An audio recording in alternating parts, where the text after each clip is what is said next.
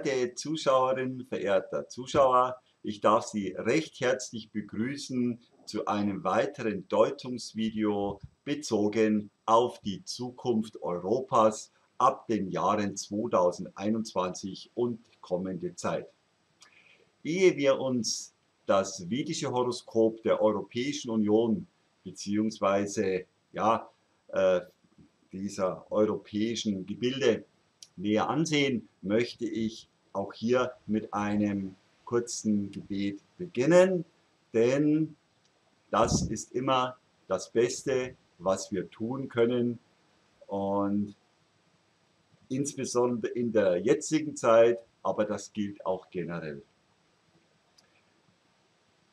Lieber Gott, bitte führe uns vom Schatten ins Licht. Führe uns von der Unwirklichkeit in die Wirklichkeit und führe uns vom Tod in die Unsterblichkeit.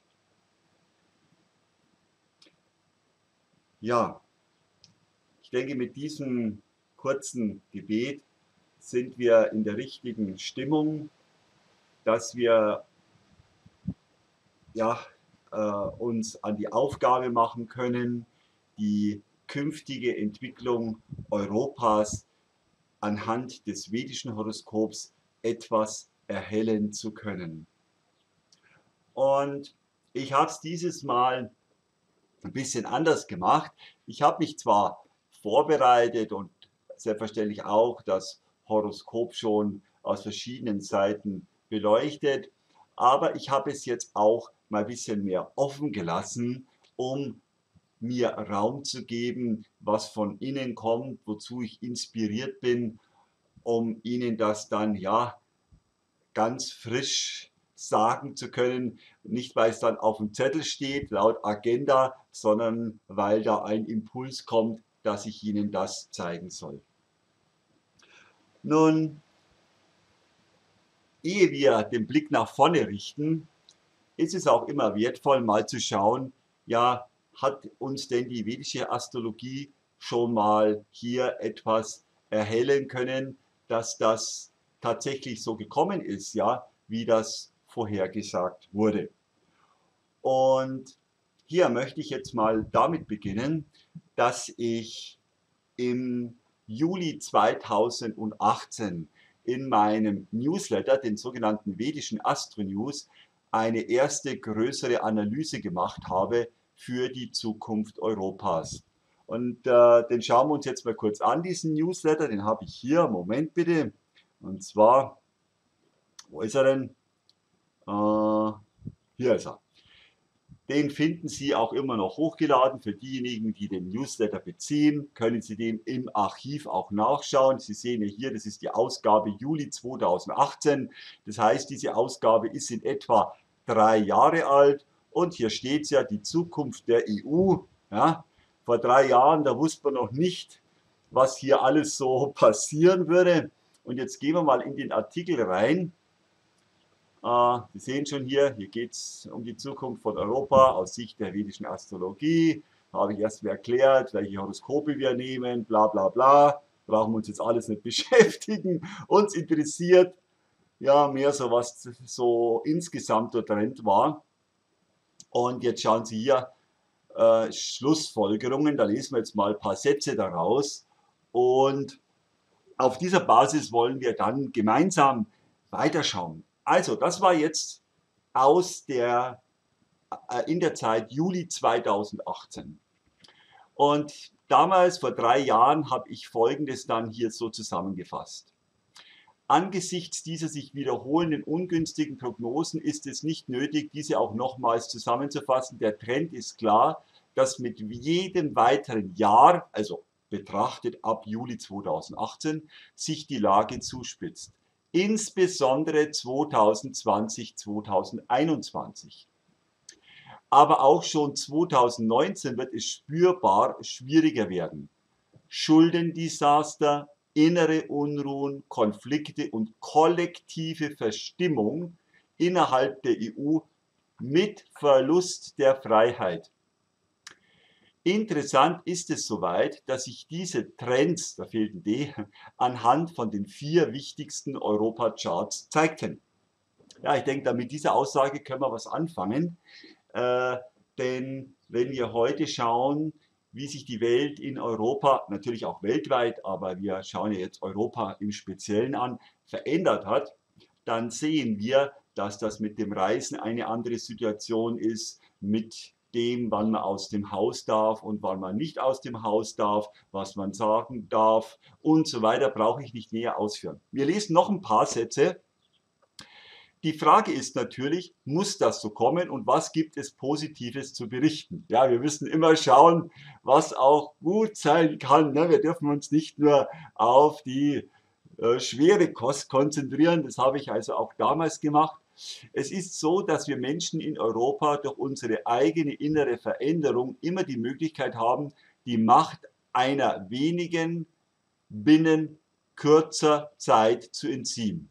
Ja, also sicher, wenn wir uns mehrheitlich als Menschen verändern innerlich, dann geben wir den Kräften, die uns hier zusetzen, entziehen wir die Macht. Das ist klar. Doch solange die Mehrheit sich angepasst verhält und vom System einschläfern lässt, ist hier nicht eine Veränderung zu erwarten. Die meisten Menschen haben eine Veränderungsunlust und hoffen bis zum Schluss, wenn es aber schon zu spät ist und die EU-Diktatur sich entfaltet hat.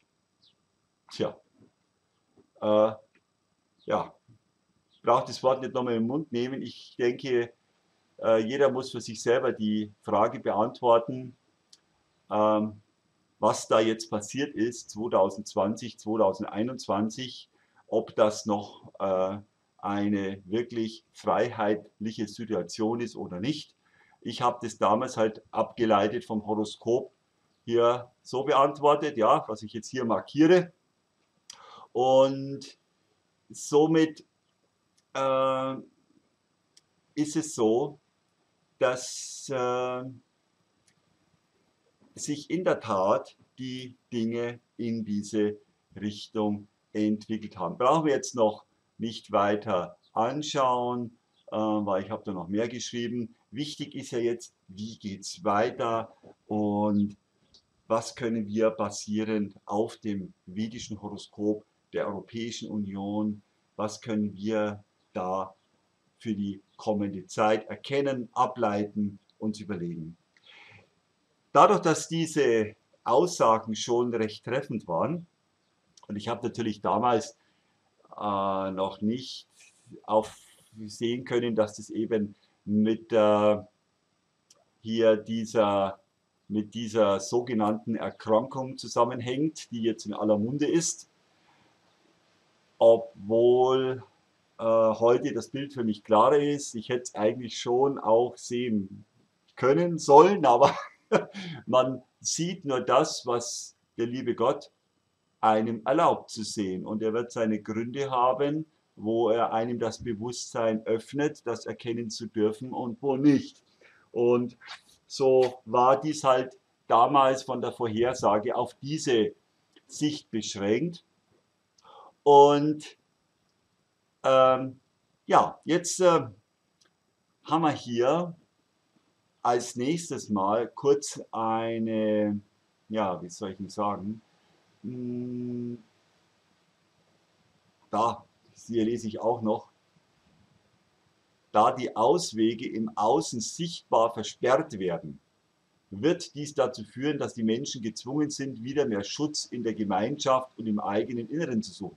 Auch das äh, ist geschehen und auch wird die Illusion zerstört, dass fette Bankkonten und ein guter Job die alleinige Sicherheit wären. Also Sie sehen schon, äh, das ist auch nur ein Zitat aus meinem Newsletter, das sehe ich jetzt gerade so, das habe ich hier auch in meinen äh, eigenen neuen Artikel reingeschrieben, weil die Deutung über die Zukunft Europas wird auch in der Ausgabe des Newsletters für Juni 2021 noch eine Rolle spielen, weil da kann ich ja noch viel tiefer eingehen und Gott sei Dank noch mit dem Schreiben ist es noch besser, was den Ausdruck der eigenen Meinung angeht, als wie mit dem öffentlich Reden. Darum lade ich Sie immer ein, dass Sie sich eintragen in meinen Newsletter, solange das auch noch geht. Und ähm, ja, hier wollte ich auch nur noch mal ganz kurz äh, verständlich machen. Wenn man sich das Horoskop der Europäischen Union anschaut, dann stehen einem letztlich zwölf verschiedene Grundlagendaten zur Verfügung.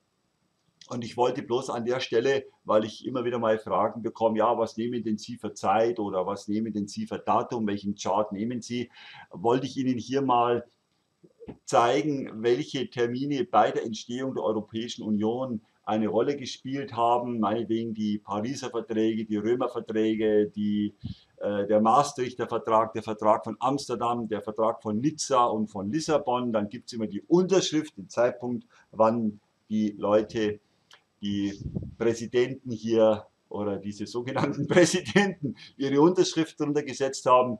Und es gibt aber auch den Zeitpunkt, wann das, was die verabschiedet haben, in Kraft getreten ist. Ich habe dann anhand verschiedener Ereignisse überprüft, ob äh, das jeweilige Horoskop gut passt und in Übereinstimmung mit vielen anderen Astrologen, die auch weltliche Ereignisse deuten, halte ich das Horoskop aufgrund des Maastrichter Vertrages vom 1. November 1993 Mitternacht ja, als den besten Chart. Das sieht man auch daran, das habe ich hier, glaube ich, auch rauskopiert, äh, wenn man auch in Wikipedia reingeht und die Gründung der EU sucht, dann wird eben hier der 1.11.1993 als das Datum genannt, obwohl selbstverständlich die Idee des geeinten Europas schon viel länger zurückliegt und diese Horoskope sind auch wichtig und die schaue ich mir auch an, genauso wie die Unterschrift des Maastrichter Vertrages im Jahre 1992. Aber ich will ja hier nicht in zehn Horoskope rumspringen, darum zeige ich Ihnen den Chart, der maßgeblich das meiste davon enthält und anhand dieses Horoskops wollen wir uns jetzt etwas an die Deutung der jetzigen und der kommenden Zeitqualität machen. Ehe wir das tun, brauche ich jetzt einen kleinen Schluck Kaffee. Ja, ich hoffe, Sie sehen es mir nach. Ja. Äh, wir haben gerade 4 Uhr nachmittags am 1. Juni 2021. Ja, und wenn man immer, mir geht so, wenn ich vom Reden kriege ich immer so trockene Lippen, da muss ich immer ein bisschen äh, was zum Trinken haben. Zumal ich ja hier äh, außerhalb Europas, außerhalb der Europäischen Union lebe, in einem sehr heißen Land. Ich lebe ja auf Zypern, aber im nördlichen Teil, also im türkischen Teil, der ja nicht zur Europäischen Union gehört. Und da ist es sehr heiß. Und ja, deswegen ist da Trinken besonders wichtig. Ja, ich weiß schon, Kaffee eigentlich nicht, gell? heißt ja Kaffee dehydriert. Aber okay, jetzt kommen wir vom Thema ab. Und wir wollen das Ganze trotzdem mit Humor nehmen und mit Lockerheit, ja, denn uns muss immer klar sein und ich bitte Sie da auch die anderen Videos von mir anzuschauen, dass wir als Seele über diesen Themen stehen und dass wir es in der Hand haben, wie wir damit umgehen und dass wir uns eben auch dafür entscheiden können, äh, basierend auf den Energien, die am Wirken sind, es trotzdem auf unsere Weise mit unseren Möglichkeiten am besten für uns zu machen. So, vorausgesetzt, wir haben die Kraft auch das ein oder andere loszulassen, zu verändern, aber schwierig wird es halt, wenn man meint, es muss alles nach dem eigenen Kopf genauso sein, wie man meint. Das muss ich gleich vorausschicken, wenn wir die Zeitqualität Europas näher betrachten. Übrigens interessant, wenn Sie schon meine Newsletter kennen, insbesondere die seit 2021, Januar. Da sind sehr, sehr umfangreiche Artikel drin über die Offenbarungen, auch anhand der Veden für die jetzige und die kommende Zeit, die sehr tief gehen. Und ich empfehle Ihnen, die, auch diese fünf Artikel durchzulesen. Dann verstehen Sie auch den Gesamtzusammenhang besser. Aber interessant ist schon wieder, wenn ich so Zahlen lese, ja, 1.11.1993. Ne? Ich meine, Sie wissen, wir haben ja jetzt äh, eine Krankheit, die was mit der 19 zu tun hat. Es gibt 9-11 ja, oder äh, diese Zahlen tauchen halt immer wieder auf und spielen eben in den Kreisen, die diese Dinge gestalten, eine wichtige Rolle. Und interessant ist, und das wollte ich an für sich damit sagen, dass diese Zahl 9, 11, ja, 19 auch im Gründungsdatum, im wichtigsten Gründungsdatum der Europäischen Union zu sehen ist. Außerdem gibt es äh, ja die Numerologie, anhand der man das sogenannte kleine Horoskop erstellen kann, ja, wo man schon mal ohne Uhrzeit gewisse Energien erfassen kann. Und das habe ich auch gemacht ne, mit diesem Datum hier 1.11.1993. Und wenn man hier zusammenzählt, brauchen wir ja bloß mal machen. Moment, Sie wissen ja, wie das funktioniert. Ja, wenn ich jetzt zum Beispiel sage, hier, machen wir mal, schauen wir, ob das funktioniert hier. 1.11.1993, ja, ist gleich 1, 2, 3, 4, 13, äh, 22, 25, gebe die 7. Aber da haben wir die 11, das ist eine Meisterzahl, die wird dann auch mal komplett gezählt, dann hätten wir 1, 12, 13, äh, Moment, ich hab's, muss ich gleich hier schauen. Ähm, Moment, ach ja, genau, ich habe es hier anders gemacht. Jetzt nichts... Äh, ach ja, ich habe hier Ja, genau. Ah, okay, okay, okay. Ähm, musste jetzt gerade nochmal schauen, was ich Ihnen hier erklären wollte. Und zwar ähm, hier mit der 12. Also 1.11.1993, um das nochmal äh, zu sagen. Die 1993 ergibt äh, wenn wir das also zusammenzählen, da kann man ja die Quersumme einfach bilden. 1, 2, 3, 4, 13, 22 ist die 25. Ne? Und das ergibt als Quersumme die 7. Äh, 7 ist eine wichtige Zahl, die hat ja was mit der Schöpfung zu tun. Ne? An sieben Tagen schuf Gott Himmel und Erde. Also das drückt ja auch das siebte Haus in der Astrologie aus. Aber es gibt noch weitere Analysen, die man eben machen kann, auch anhand des Namens. Genau, das war nämlich das Thema. Und das habe ich auch gemacht. Und was hier interessant ist, dass äh, es ja vier verschiedene Rechn Berechnungen gibt anhand dieser Numerologie mit dem Namen. Ne? Da gibt es gewöhnlich, rückwärts, gewöhnlich, volle Reduktion und und und. Und hier kam raus einmal die 6, dann zweimal die 6 und dann zweimal die 3. Ja, und jetzt brauchen Sie bloß überlegen, wenn wir zweimal die 6 haben und zweimal die 3, zweimal die 3 ist die 6, dann haben wir auch diese interessante Zahl. Und diese Zahl, ähm, tun wir das wieder weg, die hat bei mir natürlich gleich ausgelöst, ja, Moment einmal, ähm, wie kommt denn das äh, zustande? Ja? Und äh, wo ist denn das noch wichtig? Und dann finden wir ja auch in der Offenbarung des Johannes, sprich in der Bibel, diese Zahl erwähnt. Und so haben wir im Gründungsdatum der Europäischen Union ein Zeichen, eine Verbindung ja, äh, zu dieser äh, so besonderen Zahl. Die Zahl an für sich ist ja nicht schlecht, die steht für äh, den Menschen, ja, hat ja was mit dem Kohlenstoffatom zu tun und so, aber sie hat auch eine besondere Bedeutung in der Bibel.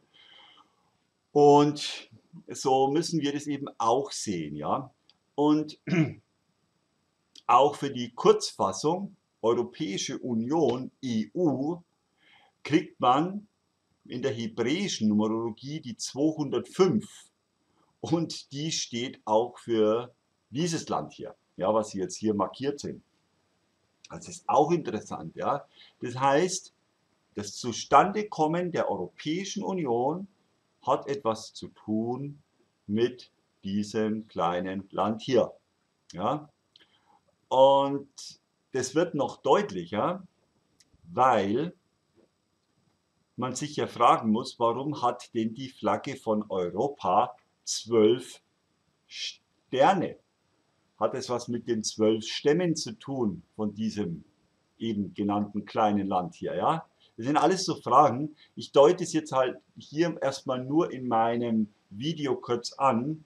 Äh, ich bitte Sie da diesbezüglich mein Newsletter zu lesen, weil ich jetzt hierzu nicht stärker einsteigen kann. Aber ich glaube, diejenigen, die mich schon ein bisschen kennen, wissen, was ich damit andeuten möchte.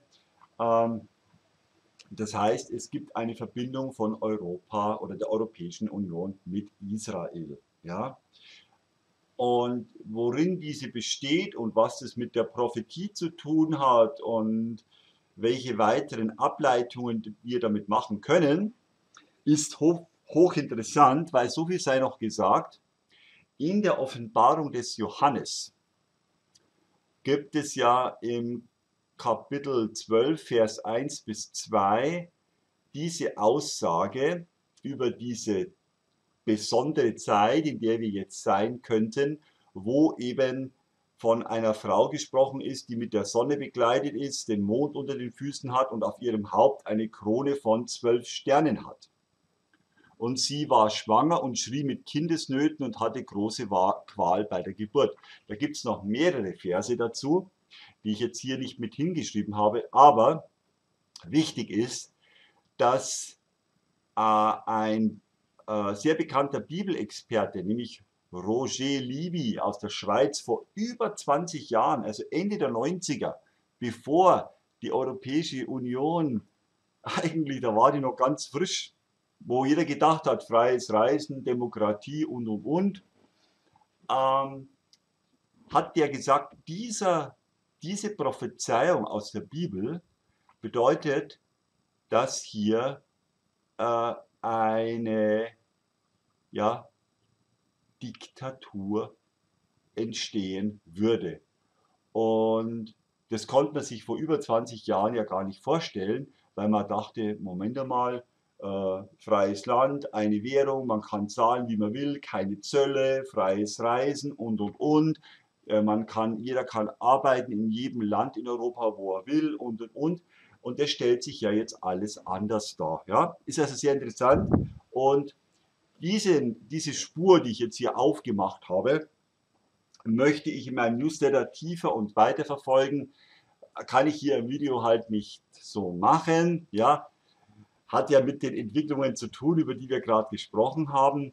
Und darum schauen wir uns jetzt ein bisschen die Zeitqualitäten an, in denen sich Europa bzw. die Europäische Union aktuell befindet.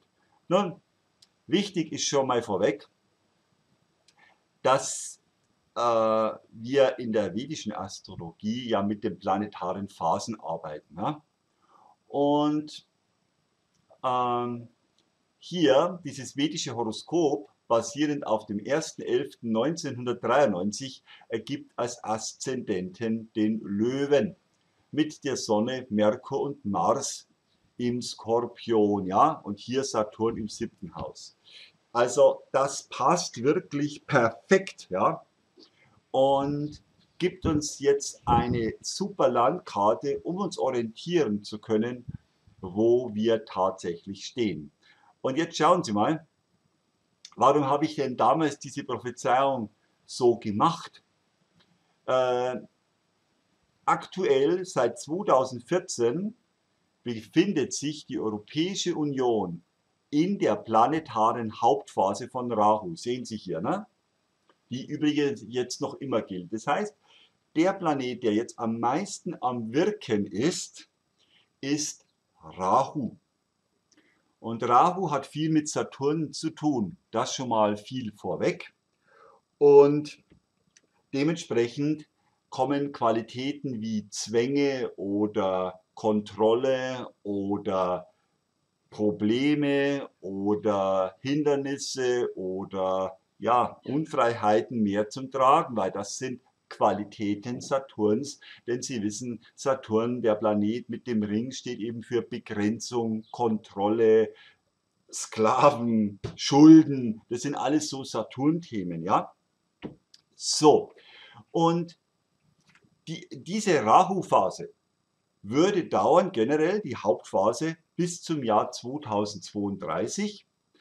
Allerdings, damit man, das Leben ist ja immer ein Auf und ein Ab, deswegen wird jede planetare Hauptphase, die unterschiedlich lang ist, in Abhängigkeit des jeweiligen Planeten, ob Mars, Jupiter und und und, Rahu dauert eben äh, 18 Jahre, wird auch wieder in neun Unterphasen unterteilt, basierend auf den neun Planeten der vedischen Astrologie. Denn hier arbeiten wir in der vedischen Astrologie ohne Uranus, Neptun und Pluto, ja, weil die kann man mit dem bloßen Auge nicht sehen. Die spielen nur für das Unterbewusstsein eine Rolle.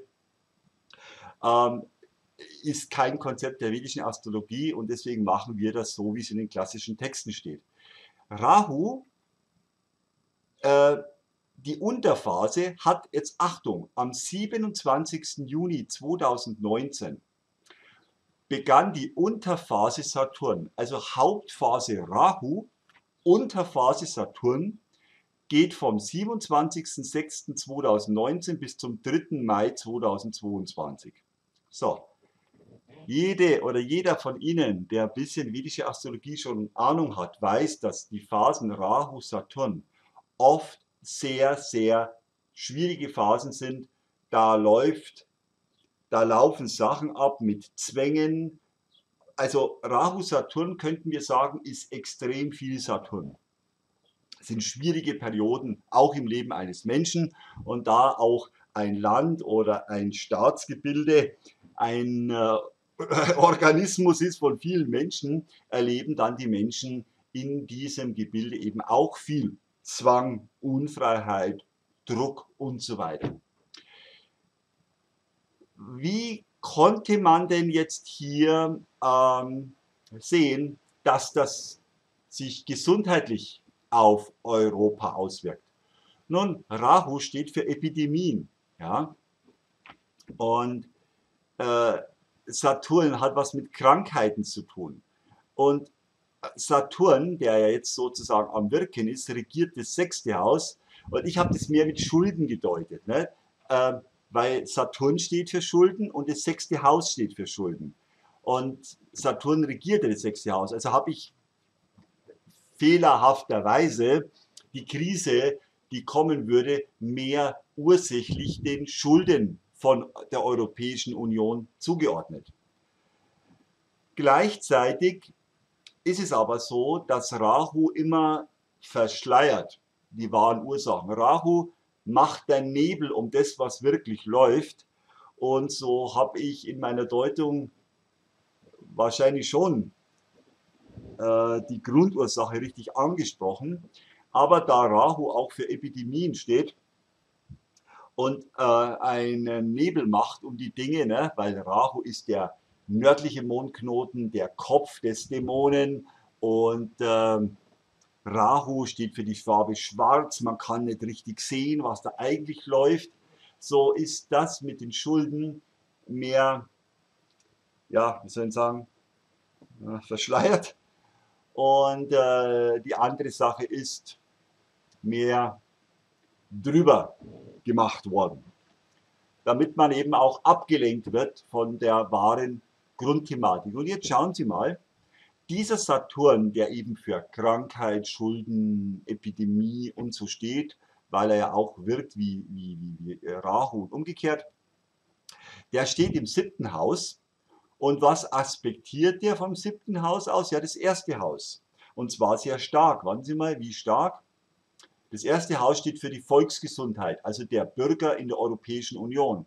Und dieser Saturn aspektiert hier das erste Haus, also den Aszendenten, am stärksten von allen Planeten mit 47 Punkten von maximal 60.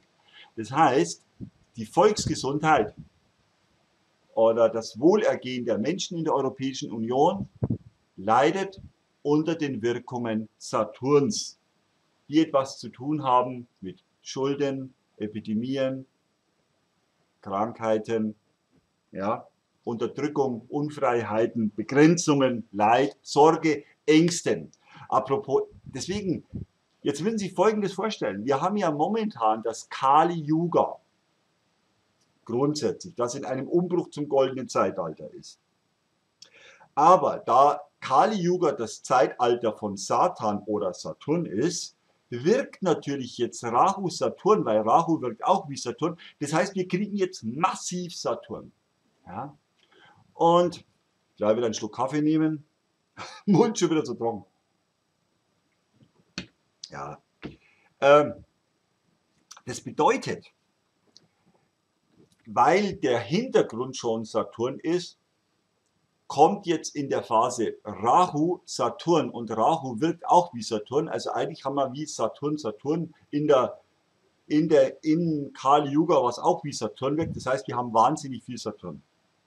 Jetzt sagen Sie, ja Herr Feinheit, sagen Sie uns doch mal was Gutes. Ja, aber es gilt zunächst die Devise, bitte Achtung, Gefahr erkannt, Gefahr gebannt. Wir müssen erstmal uns klar machen, was läuft da. Ja? Und der Saturn ist kein böser Planet, sondern er zeigt eine gewisse Energie an und hat auch, äh, wie soll ich sagen, seine Aufgabe im Schöpfungsplan.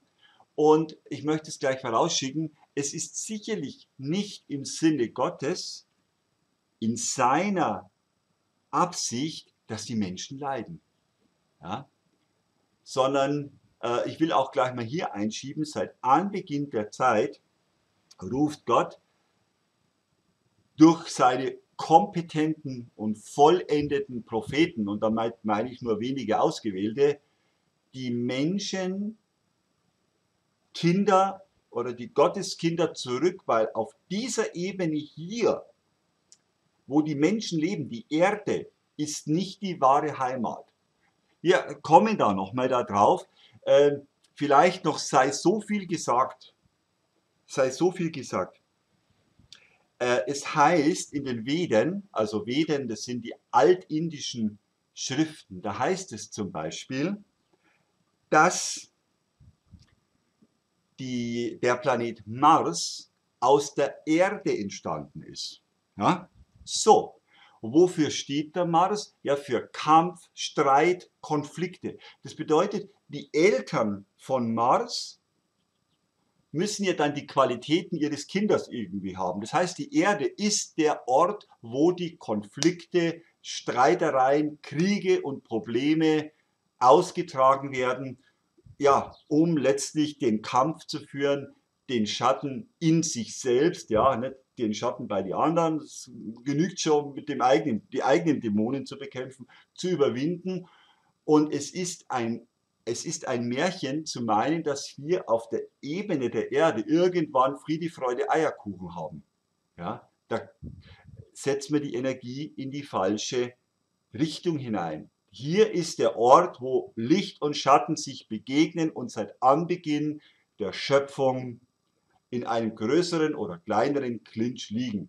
Man nennt das in der christlichen Lehre der Kampf der Teufel gegen die Engel und in den Veden die Asuras gegen die Devas und bei den Muslimen die Djinn gegen die was weiß ich was. Es geht auch nicht um eine bestimmte Religion, nur wir müssen uns das klar machen. Ja, aber gut, jetzt bin ich abgeschweift, ja. ich bin abgeschweift. Wir wollen ja beim Thema bleiben. Wo waren wir denn? Äh, ich glaube, ja genau, Europäische Union. So, wir haben also jetzt dieses Zeitfenster Rahu Saturn, was noch dauert bis 3. Mai 2022. Und ja, das ist ja noch ein Jahr, ändert sich da gar nichts, wie geht es denn weiter? Wir kommen gleich dazu. Bitte geben Sie mir ein bisschen Zeit, denn äh, wir müssen das äh, äh, ja, ähm, auch verstehen. Denn es ist nicht die Zeit, wo ich sage, ja, irgendwann ist vorbei und wir verkehren, wir kehren zur alten Welt zurück. Das ist nicht die Zeit. Auch da muss ich an meinen Newsletter verweisen. Es kommt ein ganz anderes Zeitalter. Und ähm, das äh, die Möglichkeit bietet, eine gewaltige Entwicklung persönlich hinzulegen, um mit Riesenschritten wieder zurückzugehen in Richtung wahre Heimat. Dazu aber gleich noch mehr. Wir müssen also jetzt sehen, Rahu Saturn. Wie ist denn die Qualität von Saturn? Je besser der Saturn ist oder je unverletzter er ist, umso nicht so ganz problematisch ist er. Aber jetzt schauen Sie sich mal das an. Der Saturn steht hier in einem Quadrat, also oder in einem ungünstigen Verhältnis zueinander zu seinem natürlichen Feind Mars, zu seinem natürlichen Feind die Sonne und auch der Mond, der auch für Saturn ein natürlicher Feind ist, steht in einem Eckhaus zu ihm. Das bedeutet, dieser Saturn wird äh, durch alle drei Feinde beeinflusst und am allerstärksten durch den Planeten Mars mit 59 Punkten von maximal 60. Und der Mars ist stark. Ja, der steht nämlich hier im Skorpion, dann hat der Kraft. Das bedeutet, der Saturn steht auch, ne, der regiert hier das sechste Haus, das steht auch für die Gesundheit der Bevölkerung. Ja? Und Jetzt wird aber der Saturn verletzt durch den Einfluss von Mars. Was ist denn Mars? Ha? Mars steht auch für Sachen, die man mit Stich wo rein tut. Ich glaube, Sie wissen, was ich damit meine. Und so ähm, müssen wir halt verstehen, wenn wir schauen zum Beispiel, jetzt rufen wir bloß mal auf, ich habe hier Sie wissen ja, ich habe eine Online-Schule für vedische Astrologie. Ja? Und da kann man bei mir die vedische Astrologie lernen. Und wir schauen jetzt mal nach, zum Beispiel, äh, was hier der Planet äh, Saturn bedeutet. Und zwar, ähm, Moment, wenn, er verletzt ist, ne, dann steht er für Falschheit, geheime Feinde zum Beispiel. Ne? Hier Saturn repräsentiert, kann man alles hier lesen. Und also da, da, da, da läuft was nicht so richtig. Ja? Da ist etwas ganz anderes, als wie wir es vermuten. Und das sechste Haus, habe ich ja auch gerade gesagt, was verletzt ist. Das sechste Haus steht für Schulden, Staatskredite, ja, das ist sicherlich auch ein großes Problem, worüber gar nicht so offen gesprochen wird. Medizinische und andere Dienste, Krankheiten im Allgemeinen, nationale Lebensmittelversorgung. Also das sind Dinge, die leiden, ja, sprich die Volksgesundheit leidet und es hat zu tun mit diesem Mars hier. Das heißt, das gibt mir einen astrologischen Hinweis, dass man sich schon mal, was rein das Körperliche angeht, wir reden noch gar nicht über die spirituelle Dimension, sich sehr genau überlegen muss, was man hier jetzt in seinen Körper hineintut. Und äh, zumal Rahu der Hauptphasenherrscher ist, jetzt muss man da wissen, wofür steht Rahu. Und ich zeige es Ihnen, weil dann brauche ich nicht so viel reden. Vielleicht auch ganz gut. Was ich Ihnen hier zeige, das ist sozusagen eine Sache, die ich in meiner Schule einsetze, damit die Leute äh, schnell was nachschlagen können. Na, wenn ich jetzt Rahu anschaue, Rahu,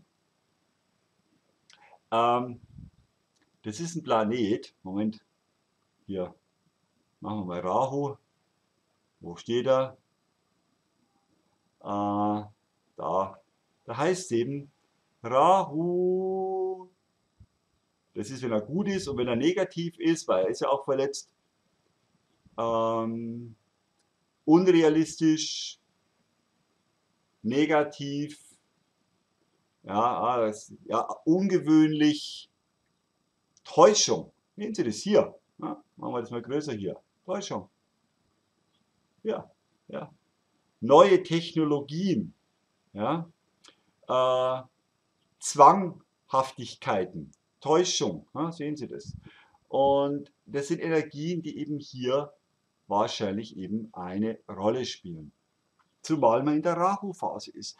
Damit sagt, möchte ich Ihnen Folgendes sagen, weil Europa sich in der Rahu-Phase befindet und dieser Rahu auch qualitativ nicht gut ist, müssen Sie alles, alles, ich sag's nochmal, alles hinterfragen und sich durch eigene Recherche ihr eigene Meinung bilden und um Gottes Willen nicht äh, äh, irgendwie ableiten. Wo kommt die, die, wo kommt die Täuschung her? Jetzt zeige ich Ihnen was anderes. Rahu, der jetzt quasi ja der Hauptphasenherrscher ist, steht hier im fünften Haus, im Schützen.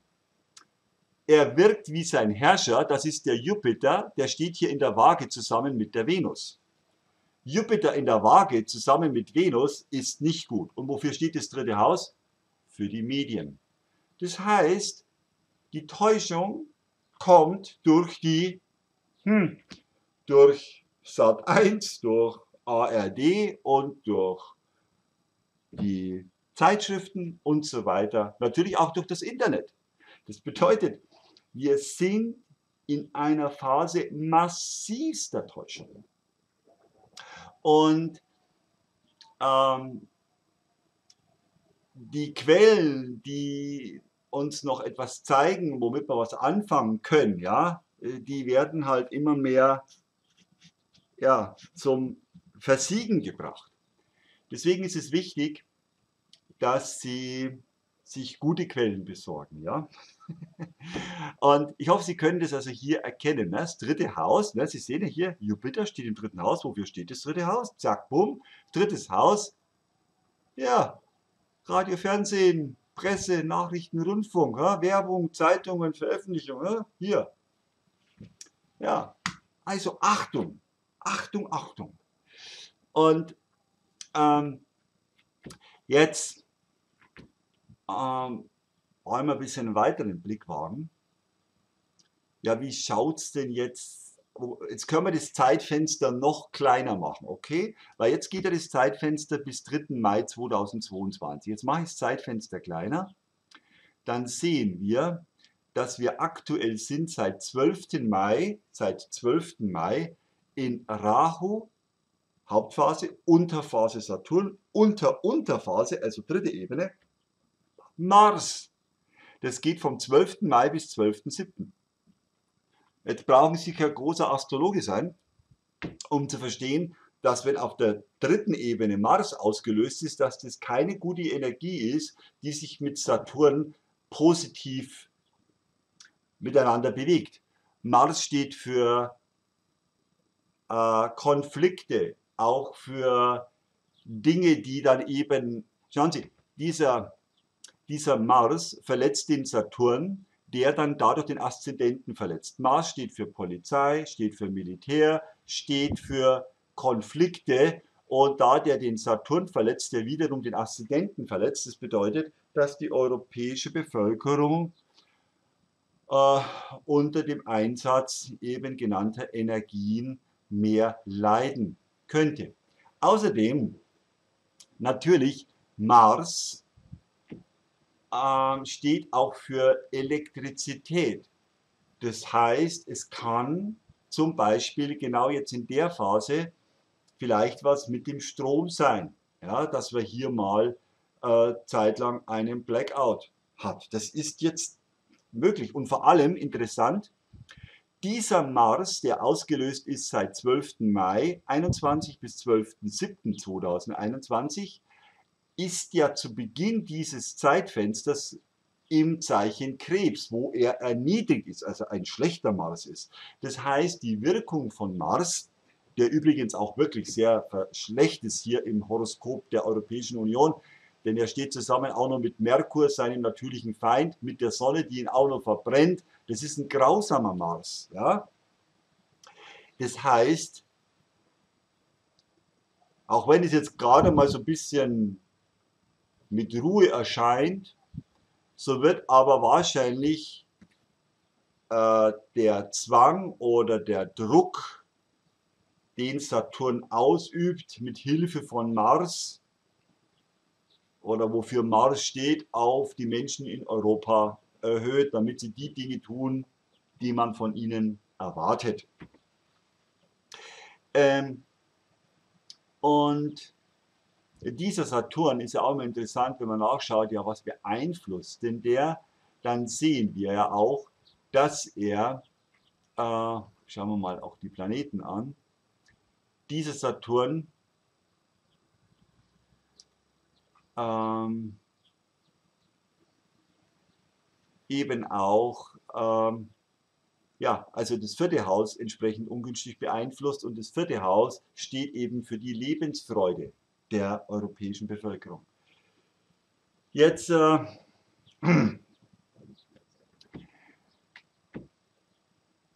haben wir da gewisse Energien transparent gemacht und so wird es jetzt rein auf einer materiellen Ebene, äußeren Ebene, was ich Ihnen jetzt so gezeigt habe, wohl eher noch weiterhin Druck stehen bleiben. Und wenn wir hier äh, weiter sehen, dann erkennen wir ja, also ich sage auch, dass jetzt die nächsten Monate da sich nichts groß aufgehoben wird oder beendet wird und dann ist alles vorbei und äh, die Demokratie ist wieder in vollem Umfang intakt. Nein, weil dann kommt, wenn wir jetzt ein bisschen einen Zeitsprung machen, dann kommt ja ab in einem Jahr kommt ja die Unterphase, Rahu-Unterphase Merkur. Merkur. Wie geht es denn dem Merkur hier im vedischen Horoskop der Europäischen Union? Schauen Sie sich selber an. Der Merkur hat eine ungünstige Konjunktion mit Mars und Sonne. Der ist da eingeklemmt dazwischen, okay? Äh, Merkur regiert das elfte Haus, das sind Gleichgesinnte. Gleichgesinnte, die vielleicht was mit Keto zu tun haben. Wofür steht Keto? Naja, für Spiritualität. Und jetzt klemmt Sonne, Mars, Merkur hier ein. Leiten sich selber ab. Ja, ich glaube, Sie, Sie können eine Ahnung bekommen, was dies bedeuten kann. Ähm, wie kann man jetzt zu weiteren Deutungen kommen? Achtung, man muss immer so rechnen. In welchem Haus steht der Merkur als Unterphasenherrscher gezählt vom Hauptphasenherrscher aus. Rahu ist der Hauptphasenherrscher. Von ihm aus gezählt steht der Merkur in 1, 2, 3, 4, 5, 6, 7, 8, 9, 10, 11, 12. Im 12. Haus. Und dann gibt es ja die klassischen Texte, die BPHS, Brihat Parashara Hora Shastra, die Bibel des vedischen Astrologen. Und da gibt es eben Texte, so was es bedeutet, wenn Merkur im zwölften Haus steht von Rahu aus und diese Phase ausgelöst ist. Und da will ich Ihnen jetzt mal kurz ein Zitat daraus vorlesen. Ähm, und zwar, Moment, Wirkungen in der Unterphase von Merkur in der Hauptphase von Rahu. Ähm, das ist, wenn alles günstig ist, aber hier. Hier wird es halt was heißt ein Opprobrium? Das weiß ich nicht. Jetzt muss ich kurz was nachschauen. Hoffe, dass das geht. Aha, das ist mein Kanal. Na gut, den dürfen Sie sehen. Ich weiß nicht, was Opprobrium heißt auf Englisch, weil dieses, diese BPAS, die gibt es nicht in Deutsch. Oder zumindest nicht aus meiner Sicht so brauchbar in Deutsch. Opprobrium. Was heißt denn das? O, Rob, Trium. Ich will es jetzt auf keinen Fall, also Schwierigkeiten. Schande. Schande. Also, Schande heißt es. Schande, Schmach, Schmähung. Wird der Schande preisgegeben werden. Also hören Sie zu. Wenn Merkur im zwölften Haus von Rahu steht, haben wir für die Europäische Union. Jetzt, ich lese nur aus der BPHS vor, ja, aus dem Englischen. Da wird es Schmach der Götter und der Brahmanen geben, Verlust von Vermögen, überall Lügen, unweise Handlungen, Gefahr von Schlangen, Gefahr von Dieben und Gefahr durch die Regierung, Streitigkeiten und so weiter, wenn Merkur im sechsten, achten oder zwölften Haus ist von Rahu aus und einen Aspekt durch Mars, äh, Saturn empfängt. Und natürlich, der Saturn aspektiert hier den Merkur mit 56 Virupas von 60. Das heißt, äh, wer meine Newsletter gelesen hat, weiß, dass Dinge, die eben mit dem Göttlichen zu tun haben oder der göttlichen Ordnung oder mit brahmanischem Wissen oder der äh, mit der, wie soll ich sagen, Weisheitslehren, das wird schwierige Zeiten für diese Themen geben. Und umso wichtiger ist es, dass sie die Zeit auch nutzen, um wirklich innen stark verankert zu sein, denn der Wahnsinn wird zunehmen.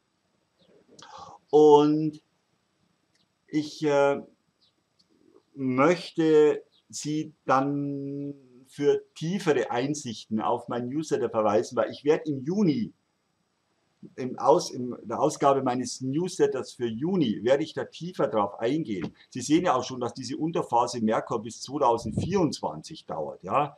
Und ähm, das heißt nicht immer, dass die Dinge dann alle so lang dauern, weil es gibt ja auch Transite und man muss auch andere Horoskope anschauen. Aber vielleicht jetzt zum Schluss noch mal eins interessant. Ähm, es gibt ja auch, Moment, hm, wo finden wir das? Und zwar, halt, das müssen wir so machen, wenn wir die Europäische Union 2021. Und zwar, man kann ja auch ein Horoskop erstellen für den Moment, wo der Frühling begonnen hat, wenn also die Sonne in den Widder geht. Und wenn man da schaut, wie das war zu dem Zeitpunkt in Brüssel, das ist ja die sogenannte Hauptstadt für die Europäische Union, das schauen wir uns jetzt auch an, weil das ist auch noch mit die Zeit von März 21 bis März 22, okay? Also, Belgien, haben wir es denn? Hier. Und dann Brüssel. Jetzt müssen wir nur die ganz genaue Uhrzeit machen, weil die Sonne, halt, da haben wir hier, äh, müssen wir jetzt schauen. Moment. Aha. Jetzt, äh, aha. Noch ein bisschen zurück. Wann tritt die Sonne? Jetzt genau hier. Schauen Sie. Jetzt sehen Sie, am 20. März 2021 ist in Brüssel die Sonne, äh, wenn man das jetzt hier auf 0 Grad wieder ansetzt, hat es hier den Aszendenten Zwilling ergeben. Okay? Und jetzt sagt uns dieses Horoskop hier, das ist der sogenannte Solar Ingress Chart für die Zeit 20. März 21 bis 20. März 22 für die Europäische Union. Das ist jetzt eine ganz andere Technik, der basiert jetzt nicht auf dem Gründungsdatum der EU, sondern das ist das Jahreshoroskop basierend auf dem Moment, wann die Sonne in den Widder geht. Was sehen wir hier? Jetzt schauen Sie sich das hier an. Aszendent Zwilling. Der Aszendent, das erste Haus, steht für die Volksgesundheit, das Wohlergehen der Bevölkerung. Da drin steht Rahu. Rahu steht für Gifte, Täuschung, Schwierigkeiten zusammen mit Mars. Ja, steht für ja, steht für Konflikte und und und. Dann haben wir hier noch den Mond dabei. Der Mond regiert das zweite Haus, hat was mit den Finanzen zu tun. Und somit ähm, ist hier dieses Jahr wird kein leichtes Jahr werden. Ja? Wie geht es dem Merkur? Merkur ist ja der Herrscher des Aszendenten hier. Ne? Wir müssen ja immer darauf achten. Nun, der Merkur, der steht hier. Der ist aber gefallen. Das heißt, wir haben den Herrscher des Aszendenten für die Europäische Union von März 21 bis März 22 im Fall. Keine guten Nachrichten. Gut ist, dass die Venus hier in Konjunktion ist, auch weiter weg äh, erhöht, aber sie hat keinen so richtigen Einfluss, weil der Abstand sehr groß ist. Aber jetzt mal davon abgesehen, ähm, trotzdem in der vedischen Astrologie spielt es eine Rolle. Das bedeutet, es bringt schon auch was. Aber das reicht jetzt nicht ganz aus, weil, jetzt schauen Sie sich das mal hier an, dieser Merkur, Herrscher des Aszendenten steht in einem Quadrataspekt mit Mars. Und zwar sind die da recht eng beieinander. Sehen Sie ja hier, das lila Dings. Ne? Wofür Mars steht, wofür Rache steht, habe ich Ihnen gesagt. Mit Merkur, der im Fall ist, das bestätigt nochmal das eben Gesagte. Und deswegen, ich bin ja vollkommen klar, was ich mit mir machen lasse und was nicht. Und ich appelliere auch an Sie, sich ganz genau zu informieren. Und jetzt reden wir aber nur primär über die materiellen, über die äußeren Dimensionen. Ja? Und wir, das ganze Thema hat aber noch eine viel größere Bedeutung auf der geistigen Ebene. Denn ich sage jetzt mal ein Bibelzitat dazu. Was nützt es, wenn man die ganze Welt gewönne, aber man nehme Schaden an seiner Seele? Na, das ist ja aus der Bibel. Und noch kann man sagen, ja. Ähm, das bedeutet, es findet hier ein Kampf statt, Licht gegen Schatten. Und wenn man sich äh, mit den jetzigen Behandlungsmethoden tiefer auseinandersetzt, auch auf einer spirituellen Ebene, dann kann man das aus meiner Sicht nicht annehmen. Und ich bin da auch ganz klar aufgestellt, ich werde das nicht tun. Ich bin da ganz klar von innen, von außen, äh, da habe ich auch überhaupt kein Millimeter Raum, dass ich mir hier äh, was anderes für mich vorstellen kann. Jeder ist natürlich frei und soll das so machen, wie er meint und soll sich auch durch mich nicht beeinflussen lassen. Nur meine Aufgabe ist halt auch, Ihnen das mal so transparent zu machen, was hier für Energien am Wirken sind und was die für einen Einfluss nehmen.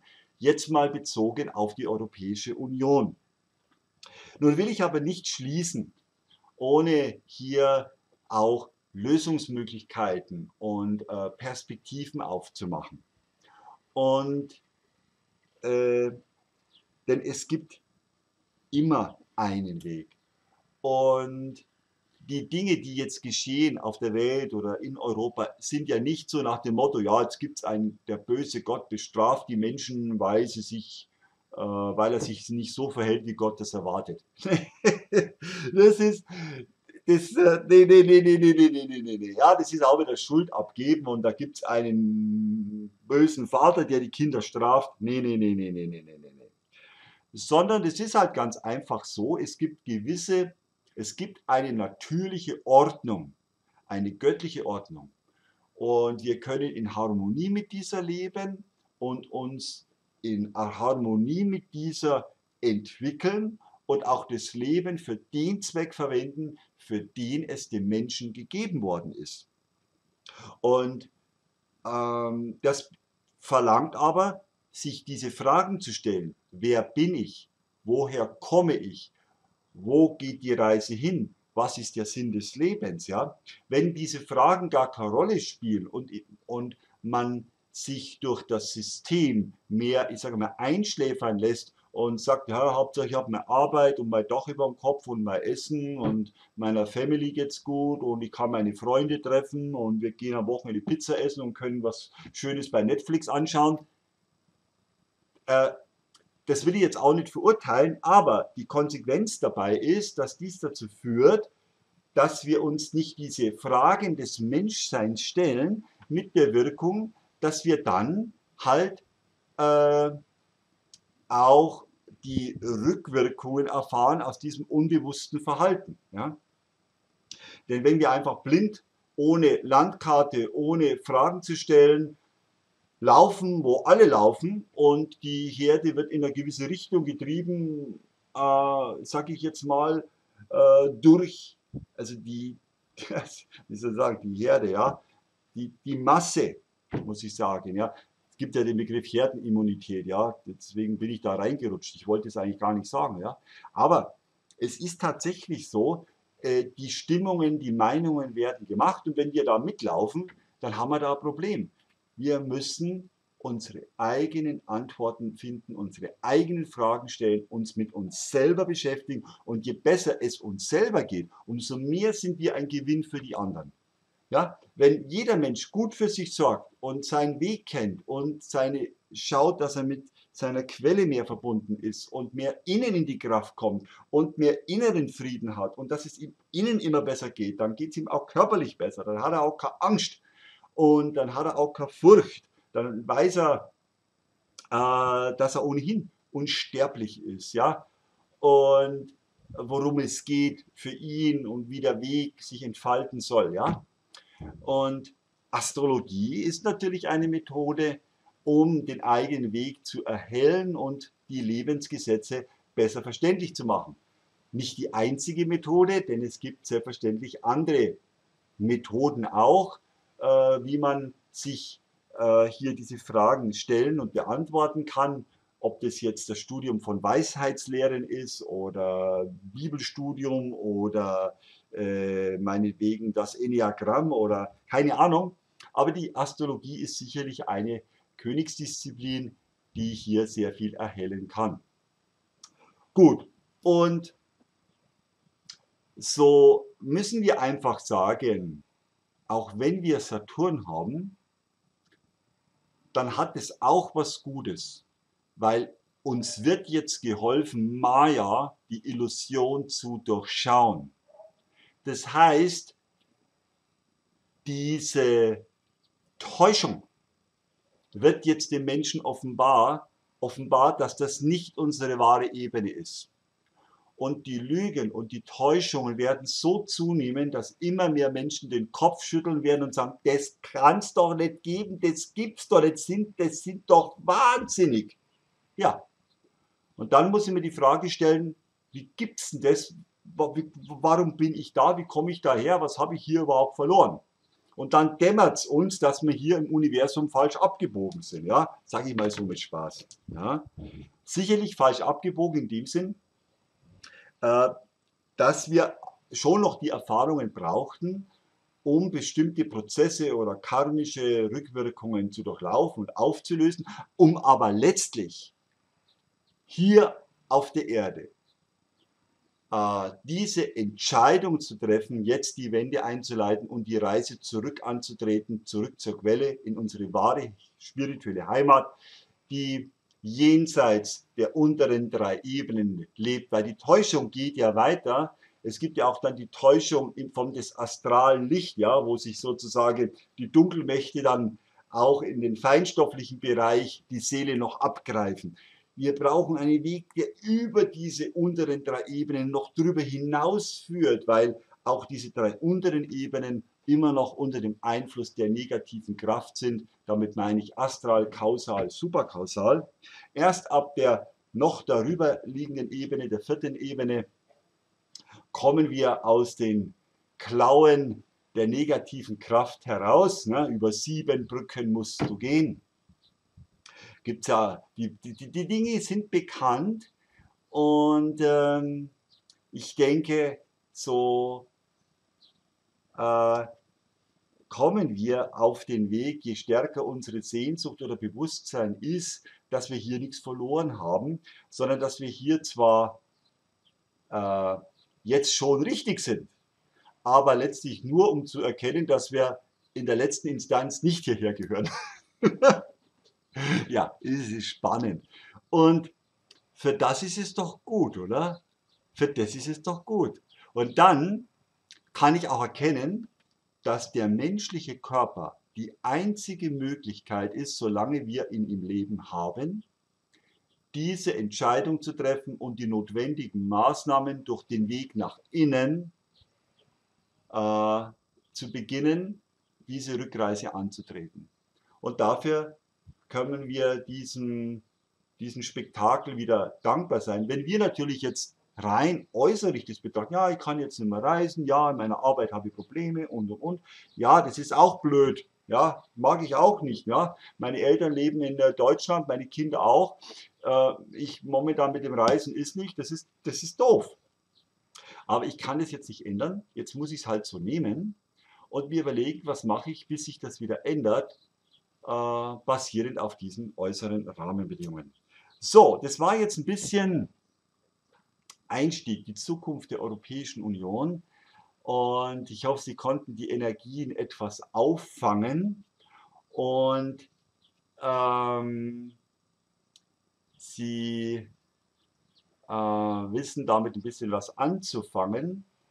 Meine beste, mein bester Vorschlag lautet, die Hingabe an die allmächtige Kraft, die, der Weg nach innen, der Suche nach Gleichgesinnten, der eigenen inneren Arbeit und äh, dem Gebet mit der Bitte um Führung und vor allem der vollen, bewussten Entscheidung, wie Sie mit Ihrem Körper umgehen bezüglich Ihrer Gesundheit und vor allem mit einem vollkommenen, wie soll ich sagen, mit einem äh, sehr achtsamen Umgang mit Ihrem Bewusstsein, wofür Sie sich entscheiden, was Sie tun.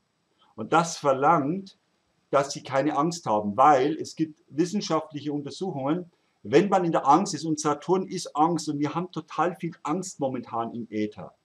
Deswegen bedeutet, dass der Mensch nicht mehr auf der Basis des gesunden Menschenverstandes entscheidet, sondern der Mensch, wenn in Angst ist, macht Blödsinn. Und ähm, das ist bekannt, das ist im Psychologen bekannt und leider wird dieses Wissen auch missbraucht. Das heißt, wir müssen raus aus der Angst. Und wie kommen wir raus aus der Angst? Ja, nur wenn wir daran glauben, dass es eine Kraft gibt, die über der Angst steht, die uns hilft, aus jeder Furcht oder Angst oder Begrenzung herauskommen zu können. Und jetzt sagen Sie mir, was gibt es Besseres als wie den Glauben an die allmächtige Kraft, die Gotteskraft, dass wir Kinder des Königs, der Könige sind, der Interesse an uns hat, dass es uns gut geht und wenn wir ihm einen Schritt entgegengehen, kommt er uns tausend Schritte entgegengelaufen. So, es ist doch wieder Predigt geworden, gell? ja. Äh, nein. Äh, Sie sehen, jetzt ist das Video vorbei. Ich hatte ja noch gebetet oder auch gesagt, ich will, dass es äh, heute mal nicht so strukturiert ist, sondern mehr inspiriert ist. Und das ist es halt jetzt geworden. Gell? Gut. Ähm, ein weiterer Tipp ist natürlich, wenn man sich mit Selbsterforschung mehr beschäftigt, dann versteht man auch besser, warum man jetzt da ist, wo man ist und man erkennt auch, welche Qualitäten da sind, um vielleicht was zu verändern. Deswegen zum Schluss nochmal, wenn Sie ein vedisches Horoskop möchten, um sich zu orientieren im Leben, wie Ihr Seelenplan, Ihr Lebensweg, Ihr Schicksalspfad angelegt ist, kann ich Ihnen nur wärmstens meine Ehefrau Bruni, Brunhilde Feiner empfehlen. Sie erstellt manuell berechnete, manuell gefertigte vedische Horoskope. Sie ist nämlich ebenfalls, wie ich, hauptberuflich tätig als vedische Astrologin. Oder ich darf Sie einladen, meine Newsletter zu lesen. Wenn Sie noch nicht eingetragen sind, unterhalb dieses Videos können Sie sich registrieren, um hier meine Newsletter künftig zu lesen bitte vor allem rückwärts ab Januar die Newsletter lesen. Ich denke, da wird sich sehr viel für Sie klären. Oder Sie steigen ein in den Weg des Mensch erkenne dich selbst anhand der vedischen Astrologie, der antiken Astrologie Indiens, die ich ja lehre. Eine Online-Schule, wo Sie studieren können, wann Sie wollen, wie Sie wollen, wie viel Sie wollen. Mittlerweile tausende von Seiten Infomaterial, zig Videos, Lehrvideos, alles zum Herunterladen und das anhand des eigenen vedischen Horoskops. Und das ist ja das Spannendste. Ne? Sie selbst sind Ihr größtes Forschungsprojekt. Ja? Sie sind der oder diejenige, auf den oder die Sie so lange gewartet haben. Und das bedeutet den Weg nach innen.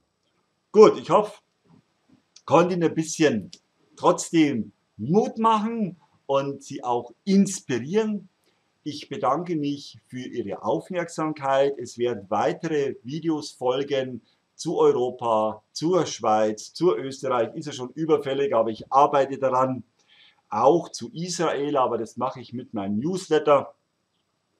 Und, und vieles, vieles mehr. Vielen Dank für Ihre Aufmerksamkeit und natürlich der göttliche Segen an Sie alle da draußen. Vielen Dank.